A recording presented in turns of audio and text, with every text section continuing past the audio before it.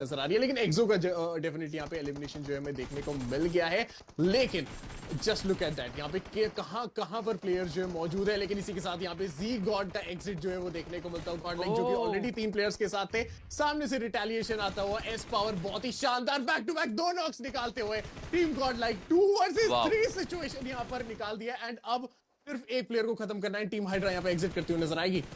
लेकिन finish point की तरफ़ ज़्यादा ध्यान दिया जा रहा है, उन्हें पता है फिनिशर्स निकालना काफ़ी इंपॉर्टेंट रहेगा। एक एक पॉइंट उन्हें काफ़ी बेहतरीन तरीके से पॉइंट टेबल में ऊपर लेकर आ सकता है तो इस बात का ख्याल है उन्हें। एंड यहाँ एस पावर के पास हेलमेट देखने को नहीं मिल रहे, उन्हें लूट की तलाश करनी चाहिए। रात अपने आप को रिजिस के पीछे रखते हुए नज़र आएँगे। एस पावर को ऑलरेडी स्पॉट कर चुके हैं। रात एक सही मौके की तलाश में अपने टीममेट को करीब बुला लिया है उन्होंने। क्या टीममेट को रिवाइव देने की जगह आगे बढ़ेंगे? जी हाँ बिल्कुल आगे बढ़ते हुए नज़र आ रहे हैं। एस पावर वापस बिना एक एचपी लूज किए